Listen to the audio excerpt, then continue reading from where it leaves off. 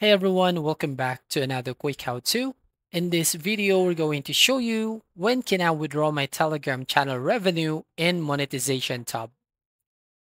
So first, ensure that your Telegram channel has at least 1,000 subscribers. Only public channels meeting this requirement are eligible for revenue sharing. If your channel meets the criteria, proceed to the next step. Next step is open your Telegram channel and then go to Channel Settings. Navigate to Statistics and select Monetization. In the Monetization section, you'll find information about your channel's earnings. This includes details on the revenue generated from ads displayed in your channel.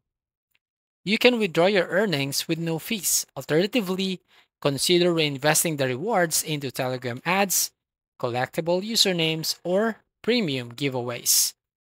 Telegram uses a cryptocurrency called Toncoins for its ads, so you can promote your channel or bot using Toncoins even with a small budget. When creating a Telegram ad, choose the specific channels where you want it to appear. So remember to check the full terms and conditions for channel monetization on Telegram. So that's all. Thank you for watching. Please like and subscribe and see you in the next video.